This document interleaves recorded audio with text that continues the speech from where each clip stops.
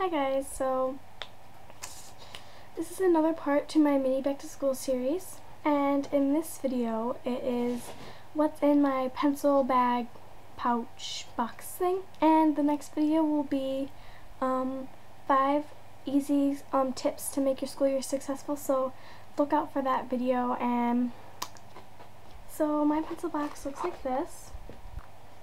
It was 99 cents so that was a great deal. It just opens up like that. It's like a little button. And it's a drawer. I have a lot of stuff in it. So what I have in mine is, it's not working. I have one highlight.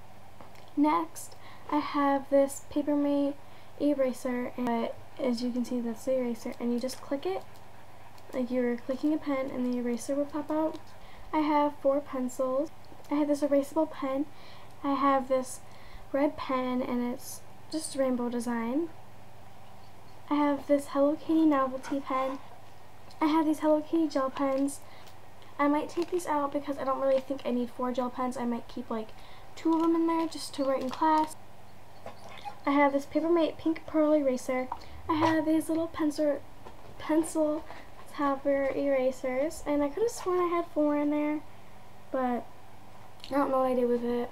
I have just some 0.7 lead. I think it's got like about I think 12 pieces in here. And then the very last thing I have in here is this cute little Hello Kitty eraser I have.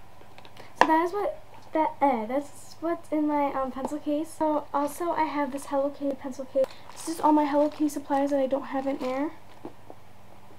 I'm sure you guys are probably like, wow, she has a lot of school supplies, but um, I have. I also have this crayon box to keep in my locker for extras. It's never too bad to have more than enough, so I'd rather have more than not enough. Just gotta be prepared. So, so thank you guys so much for watching, and I really hope you guys enjoyed eh, enjoyed my pencil box thing. Um, whatever's in it tag thing. So I'll talk to you guys later. Bye.